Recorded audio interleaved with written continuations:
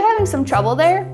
Yeah. What if I told you I had the perfect solution that gets all of your tools out of the way but still at close reach? That would be awesome, but what do you have that could possibly help my situation? It's called the Hobby Holster. It's made out of silicone so it's heat resistant and it conveniently attaches to any smooth, non-porous surface without any suction cups or adhesive.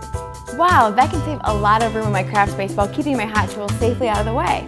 Yep, you can even use the flap that attaches to the desk as a workspace for your hot glue gun. No more glue messes everywhere, and it peels right off. I could use it as a coaster for my coffee mug, because coffee and crafting go hand in hand.